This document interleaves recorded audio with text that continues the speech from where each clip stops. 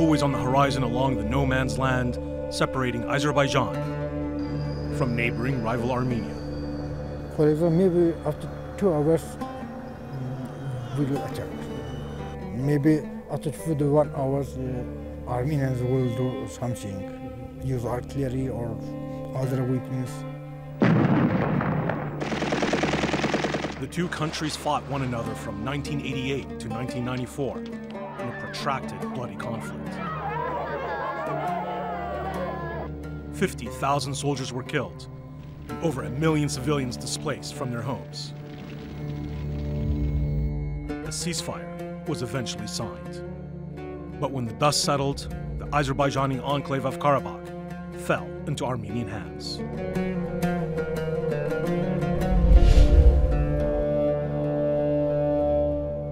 I'm Oubai Shahbandar. Crew and I spent a year traveling to various parts of Azerbaijan and the front lines between it and Armenia in order to better get to know a region and a conflict often misunderstood by the outside world. The word Karabakh in Turkic means black orchards. The color of black in this culture denotes beauty and good fortune. But one night, stands out as truly a dark moment in Azerbaijani history. Yazman has never forgotten her roots. She remembers vividly what life in her hometown Khojaly was like before the war changed everything. 1992-ci il Xocalı faciəsi həmin o dəhşətli gecə mənim həyatımda ən böyük faciələrdən biridir. Bütün qohum əqrabalarımı, əzlərimi həmin gecədə şəhid verdim. O dəhşətli gecədən əvvəl də çox Xocalıya çox hücumlar olurdu. Ermənilər kəndimizi top atəşinə tuturdular. Əlbəttə biz biz Xocalılar inanmırdıq ki, ermənilər bizim torpağımızı alırlar. Bizim insanlarımızı qətlə yetirərlər, vəhşicəsinə qətlə yetirərlər. Ağ qarın üstü sanki elə bil ki, qırmızı yaylığa, lalələrə bəzənmişdi. Qızıl alqanın içində idi.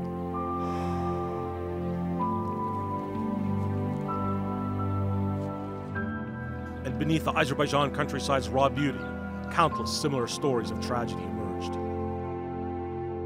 The Khojaly massacre underscored just how Karabakh became one of the most fought over pieces of real estate in the world.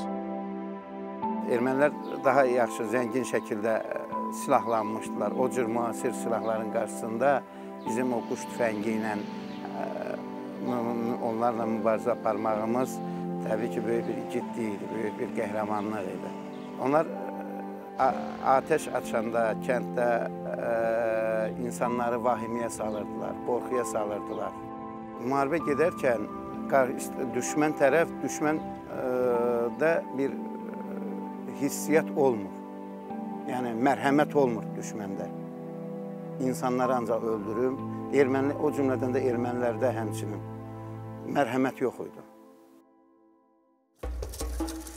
The war has now become a tense standoff.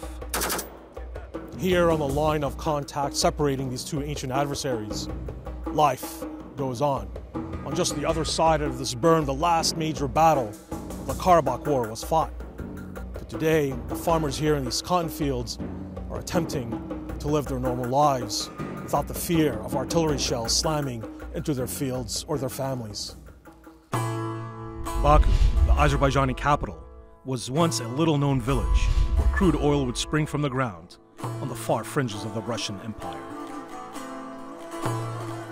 Nearly four decades ago, it was a city, once on the verge of disaster.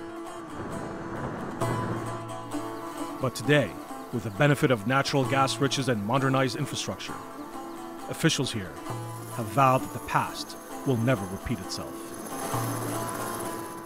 In 2016, fighting erupted in a brief four day clash in Karabakh. And Azerbaijan's heavy investment in new military technology paid off on the battlefield.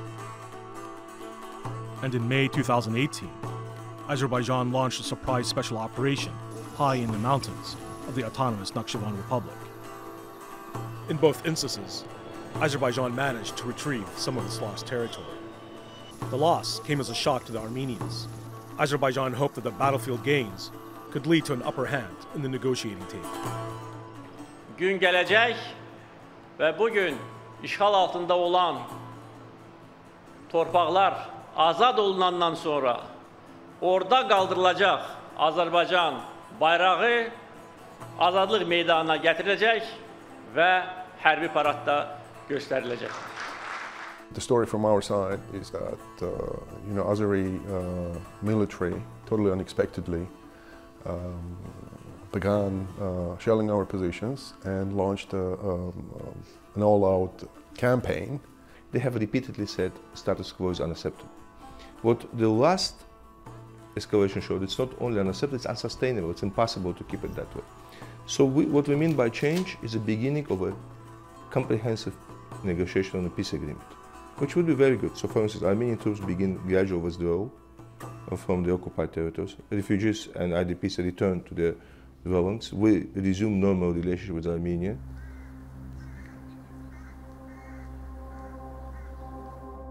Major General Hussein Mahmudov is Azerbaijan's chief military spokesman and a key architect in what his Ministry of Defense said were radical defense reforms meant to create a strong army that could one day regain occupied Karabakh.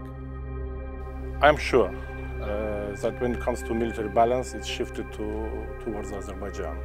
You mentioned two major events uh, that happened over the last two, three years. It's uh, April events of 2016 and the recent operation in Nakhchivan. Uh, we succeeded to liberate Günnüt village and uh, altogether up to 1,000 uh, hectares along the border between Nakhchivan Autonomous Republic and uh, Armenia.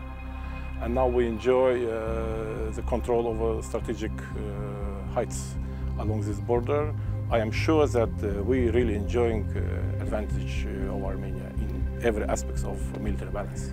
Armed forces is number one priority for our government because uh, we know uh, nowadays if you don't have force capable to face any sort of challenges and threats, you cannot provide uh, normalcy in your society. Unfortunately, it is true, uh, as I mentioned, because international law doesn't work and uh, we have to rely only on our might. The Azerbaijani military gave us exclusive access It was eager to remind us that their forces were merely 70 kilometers from the Armenian capital of Yerevan.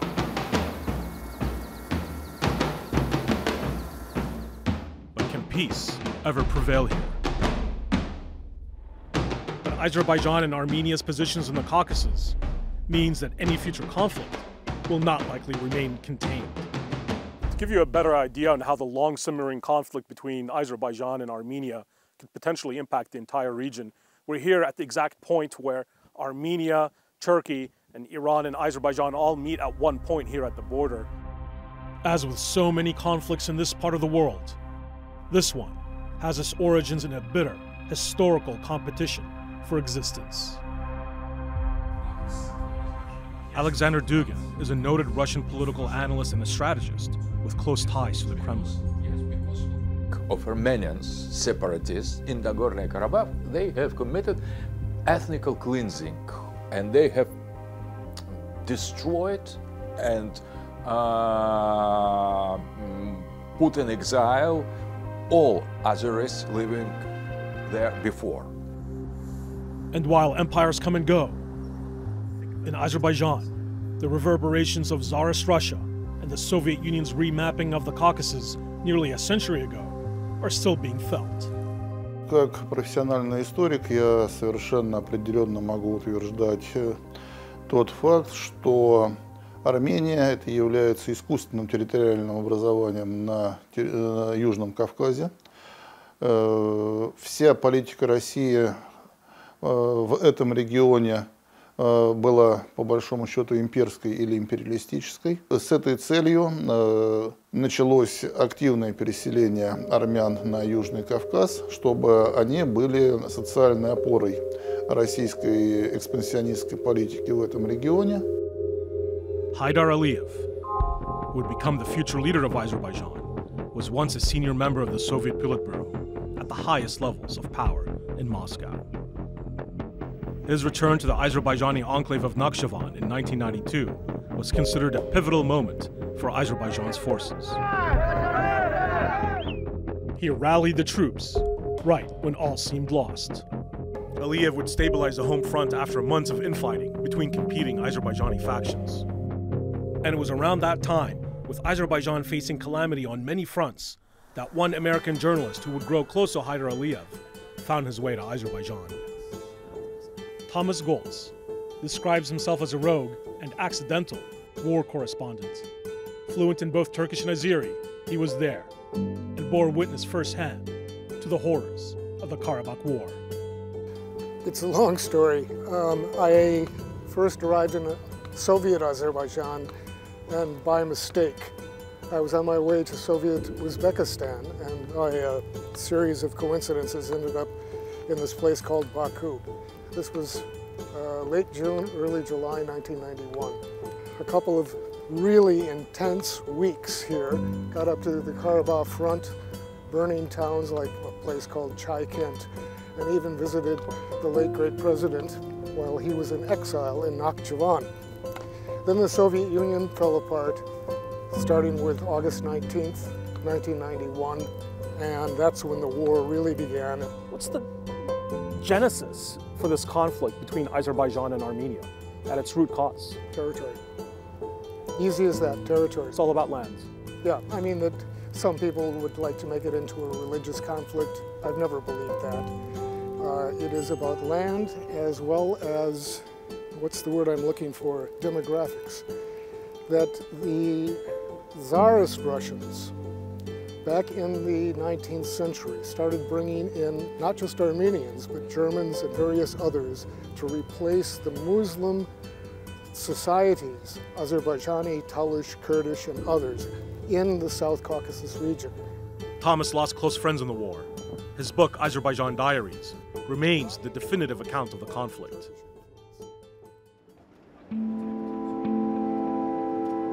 We traveled with Thomas to the small town of Agdam, situated right on the line of contact. It was in this region nearly 30 years ago, where his reporting was amongst the first to reveal to the world the atrocities committed in the Karabakh War. Nobody wanted to believe me. I'm counting bodies, literally counting bodies as they come in. And because I've been to Khojaly on several occasions prior to this, uh, I knew the survivors as they were screaming in. They weren't lying to me. And when I finally sat down to write this report in shock and managed to get a line out to the Washington Post, nobody wanted to believe me. They said no. Why not? Because the, the Armenians are always the victim. They're not the aggressor. This has subsequently been uh, proven to be uh, wrong in this instance. In my opinion, the Armenians had a consistent policy of ethnic cleansing. As a reminder of how close we were to the Armenian military positions, we were warned by our guides that it was not safe to stay long. As we interviewed Thomas, we could hear shelling in the distance. Was greeted with a scene of just utter chaos, utter chaos. People were streaming to the snow-covered mountains to get out or clawing onto our helicopter once we landed. Uh, so I spent the night and I did some more research and saw what was happening, but you know, it was, it was chaos. It was chaos, the place was falling. The only question was how could I get out? How did you get out? Once again, via helicopter, that waiting in despair and getting ready to walk up mountain. We cleared the mountain by something like five feet. That's when I decided that I was dead, or right before that. As we approached the mountain, the peak, to get over, I went through this ritual death. I said, you know, you can throw yourself out and lessen the load so that everybody else on board might survive, or you can just pray or whatever. Anyway, we got over. The second helicopter did not. It smashed into the mountain and everybody was killed. abandoned buildings in Agdam stand as a silent testimony to the war. The fate of their previous occupants, unknown. Armenians and Azerbaijanis once lived side by side, lifelong neighbors, now perhaps mortal enemies. Ha geldi ki Füzulizaddan, Ağdamdan 8 dənə erməni tankı gəlir. Deməli o Alpaşadan yenəndə siftə atdılar, top da atdılar, avtomatla da ateş açdılar. Cəmaət də o səsə çıxdı. Yazman is a survivor. But the memories of the Khojaly massacre still haunt her. In 1992, her mother had stayed behind in her village, while Yasman fled with relatives. It was the last they would ever see of one another. Mənə nə verdi? Torpağımı əlimdən aldı, evimi aldı, əzizlərimi aldı, valideynlərimi həsrət qoydu. Nə verdi? Mənə xəstəlik verdi. The war with Armenia has displaced tens of thousands of Azerbaijani families, many of whom now live in villages like this on the outskirts of Baku. In one family, three generations have been impacted by this conflict. And despite losing so much, they still remain hopeful that one day they can return back to their homeland. The very much local struggles of these families has now become ensnared in a broader geopolitical power play between world powers. Nevertheless, I would say uh, in order to solve the Karabakh problem, we need exclude from it the West. So it is the Iranians are living near, Turks are living near. Uh, we are always uh, in, in, in engaged in, the, in this uh, zone. Uh, we consider that uh, the zone of our responsibility. Pushing back against Dugin's claims is Matt Bryza, a former U.S. ambassador to Azerbaijan, who served as the U.S. co chair of the Minsk Group, charged with the task of mediating a peaceful resolution to the Karabakh conflict. Self evident to me that the South Caucasus are quite important strategically to the U.S., not simply uh, because Russia considers it such a vital region, uh, but because of, of course, the hydrocarbons, the oil and gas in Azerbaijan, um, because of also the, the, the, being an area that's wedged between Russia and Iran. Uh, because also the South Caucasus uh, have been a very useful transit point, very helpful into Afghanistan for, for the United States. Global energy markets are also impacted by this conflict. Europe's energy security will increasingly be reliant on Azerbaijan. The Baku Tbilisi Ceyhan pipeline was part of Aliyev's strategy to open Azerbaijan and its vast hydrocarbon resources for export to the West. The Baku Tbilisi Ceyhan pipeline is one of the most significant projects of its kind in the world, both in terms of scale and its strategic and economic role. Its completion and operational readiness sends out a strong message. Ilham Aliyev would eventually oversee an even more ambitious project, the European Southern Gas Corridor, which is set to be operational by 2020. That mega project will connect Azerbaijan's Shah Deniz field with Western Europe for the first time. As a result, Russia's near monopoly over Europe's energy supply will be seriously challenged. But geopolitics sometimes makes for strange bedfellows. Russia has agreement with uh, Armenia, military agreement, but those uh, military agreements very clearly say that Russia would help Armenia if somebody attacked Armenian territory. But Russia recognizes that Nagorno-Karabakh is uh, territory of Azerbaijan. The conflict in the South Caucasus may be in Russia's backyard, but that's not going to stop Uncle Sam from getting involved. Driving home that point was US President Donald Trump's hawkish national security advisor, dispatched to Azerbaijan and Armenia. Extensive discussions about uh, major issues uh, in the region. Obviously, we talked about the uh, Nagorno-Karabakh conflict. We talked about uh, our efforts to stop uh, Iran's uh, malign behavior throughout the region. Azerbaijan's rich energy resources and location makes it key to U.S. interests, and with a vast Armenian diaspora, U.S. policy attempts to walk a fine line. That the United States views the U.S. Uh, Armenian relationship as being a top priority. Uh, this is a region that's uh, strategically important to the United States. But even old adversaries talk every now and then. Diplomats in Baku still hope that peace can one day be attained. So Armenian aggression against Azerbaijan continues and Armenia still continues to occupy Azerbaijan's territories. Along the line of contact, Armenian and Azerbaijani soldiers are sitting face to face. But what have changed in Dushanbe, uh, there was a Commonwealth of Independent States Summit meeting, my president had a talk with Armenian Prime Minister. And Azerbaijan once again demonstrated its constructive approach and goodwilling towards the resolution of the conflict. Really, if you look at the conflict, it reminds everyone a scenario of the First World War.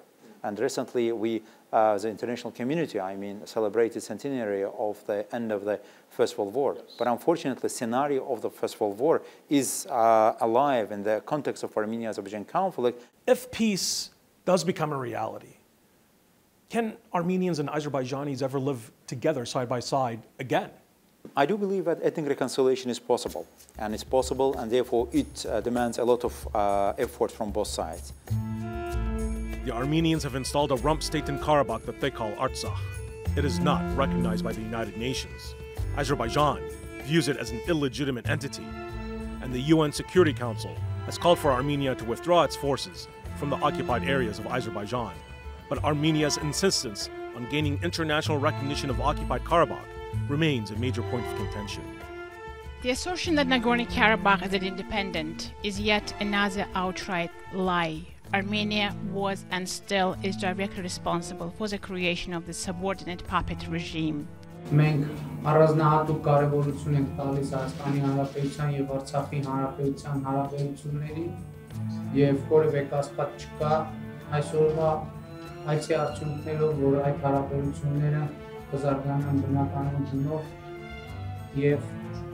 ձեռք կբերեն նորանոր դրսևորումներ